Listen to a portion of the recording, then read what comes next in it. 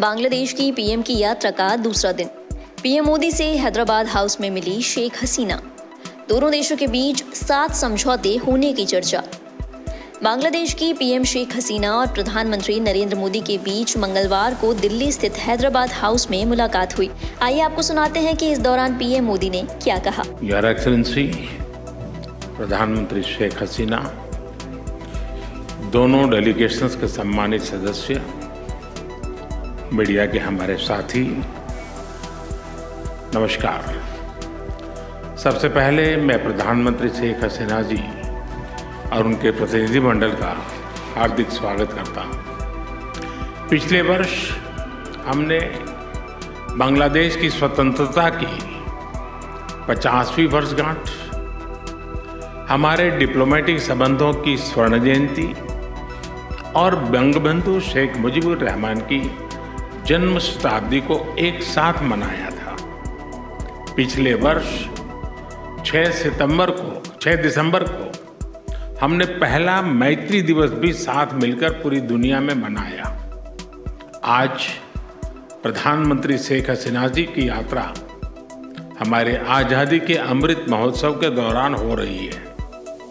और मुझे पूरा विश्वास है कि अगले 25 सालों के अमृत काल में भारत बांग्लादेश मित्रता नई ऊंचाइयाँ छुएगी। फ्रेंड्स प्रधानमंत्री शेख हसीना जी के नेतृत्व में बांग्लादेश ने उल्लेखनीय प्रगति की है। पिछले कुछ सालों में हमारा आपसी सहयोग भी हर क्षेत्र में तेज़ी से बढ़ा है। आज बांग्लादेश भारत का सबसे बड़ा डेवलपमेंट पार्टनर और क्षेत्र में हमारा सबसे बड़ा ट्रेड पार्टनर है हमारे घनिष्ठ सांस्कृतिक और पीपल टू पीपल संबंधों में भी निरंतर वृद्धि हुई है। आज प्रधानमंत्री शेख हसीना जी और मैंने सभी द्विपक्षीय, क्षेत्रीय और अंतर्राष्ट्रीय मुद्दों पर व्यापक चर्चा की।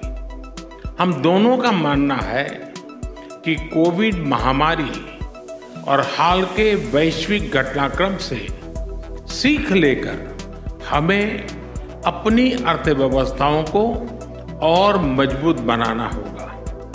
हमारे बीच कनेक्टिविटी के विस्तार से और सीमा पर ट्रेड इंफ्रास्ट्रक्चर के विकास से दोनों अर्थव्यवस्थाएँ एक दूसरे से और अधिक जुड़ेगी, एक दूसरे को सपोर्ट कर पाएगी। हमारा द्विपक्षीय व्यापार तेज़ी से बढ़ रहा है। बांग्लादेश के निर्यात के लिए आज भारत पूरे एशिया में सबसे बड़ा मार्केट है। इस वृद्धि को और गति देने के लिए हम द्विपक्षीय कॉम्प्रिहेंसिव इकोनॉमिक पार्टनरशिप एग्रीमेंट पर शीघ्र चर्चा शुरू करेंगे। हमने आईटी, अंतरिक्ष और न्यूक्लियर एनर्जी जैसे सेक्टर में भी सहयोग बढ़ाने का निश्चय किया जो हमारी युवा पीढ़ियों के लिए रुचि रखती है। हम जलवायु परिवर्तन और सुंदरबन जैसी साझा धरोहर को संरक्षित रखने पर भी सहयोग जारी रखेंगे। फ्रेंड्स ऊर्जा की बढ़ती कीमतें इस समय सभी विकासशील देशों के लिए चुनौती पेश कर रही है। आज मैत्री थर्मल पावर प्लांट की पहली यूनिट के अनावरण से बांग्लादेश में एफोर्डेबल बिजली की उपलब्धता बढ़ेगी। दोनों देशों के बीच पावर ट्रांसमिशन लाइनों को जोड़ने पर भी उपयोगी बातचीत चल रही है। रूपसा नदी पर रेलवे ब्रिज का उद्घाटन, कनेक्टिविटी बढ़ाने की दिशा में एक उल्लेखनीय कदम है। यह ब्रिज भारत की लाइन ऑफ़ क्रेडिट के तहत खुलना और मोंगला पोर्ट के बीच बनाई जा रही नई रेलवे लाइन का एक महत्वपूर्ण हिस्सा है। बांग्लादेश के रेलवे सिस्टम के विकास और विस्तार के लिए भारत हर प्रकार सहयोग जारी रखेगा। फ्रेंड्स ऐसी 54 नदियाँ हैं जो भारत बांग्लादेश सीमा से गुजरती है और सदियों से दोनों देशों के लोगों की आजीविका से जुड़ी रही है। ये नदियाँ, इनके बारे में लोक कहानियाँ, लोकगीत हमारी साझा सांस्कृतिक विरासत के भी साक्षी रहे। आज हमने कुशियारा नदी से जल बंटवारे पर एक महत्वपूर्ण समझौते पर हस्ताक्षर किए। इससे भारत में, दक्षिण असम और बांग्लादेश में सिलहट क्षेत्र को लाभ होगा फ्लड मिटिगेशन के संबंध में सहयोग बढ़ाने पर भी मेरी और प्रधानमंत्री शेख हसीना जी के उपयोगी बातचीत हुई है।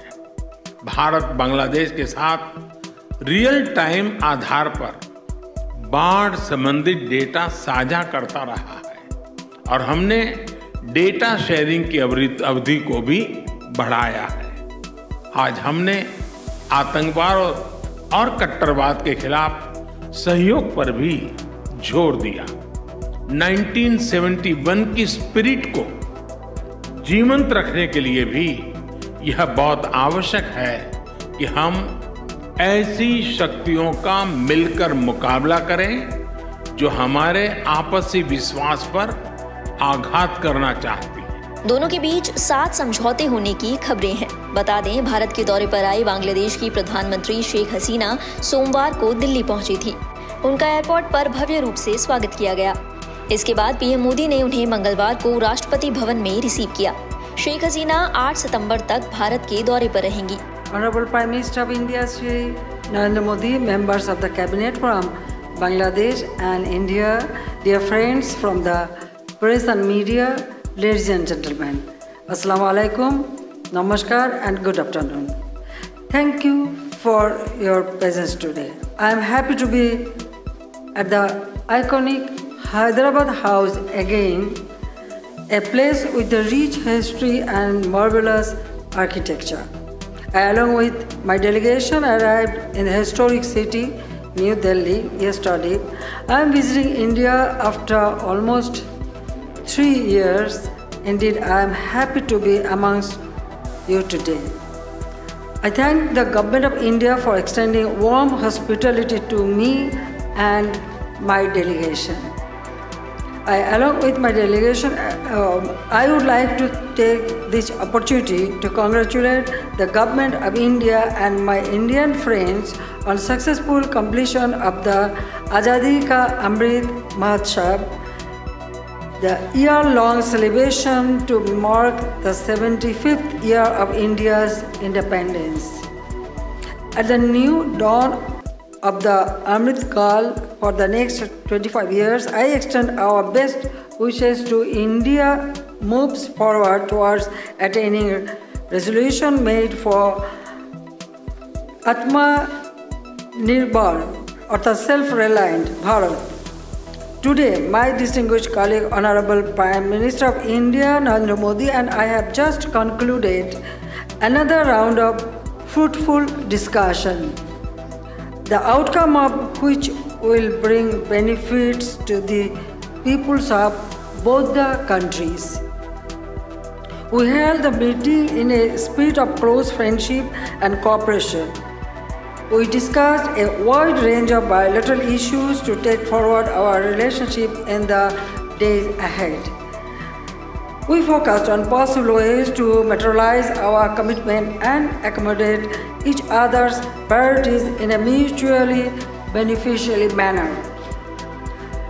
Connectivity, trade and commerce, investment, water resources management, security, border management, and lines of credit are some of the areas we discussed. We are grateful for the valuable support extended by government and the people of India in the Great War of Liberation of Bangladesh in 1971, which was a watershed moment of our bilateral relations. Since then, Bangladesh-India ties are anchored in shared history and culture, mutual trust and respect. Long-standing friendship and continued cooperation. I appreciate Modi ji's visionary leadership that continue to provide added momentum to our bilateral relations. I reiterate that India is the most important closest neighbor for Bangladesh. Bangladesh-India bilateral relations are known to be a role model for neighborhood diplomacy. noting that over the last decade, both the countries have achieved remarkable progress in a number of areas. अपने संबोधन में PM Sheikh Hasina ने कहा, जब liberation war हुआ, हमारे देश ने जब स्वाधीनता पाई, तब भारत और यहाँ के लोगों ने हमारा साथ दिया, उन्होंने सपोर्ट किया। उनके योगदान के लिए मैं हमेशा भारत की आभारी रहूँगी। गौरतलब है कि मंगलवार को दोनों नेताओं की मीटिंग से पहले दोनों देशों के प्रतिनिधित्व मंडल के द्विपक्षीय हित के मुद्दों पर चर्चा करने के लिए विदेश मंत्री एस जयशंकर से भी मुलाकात की।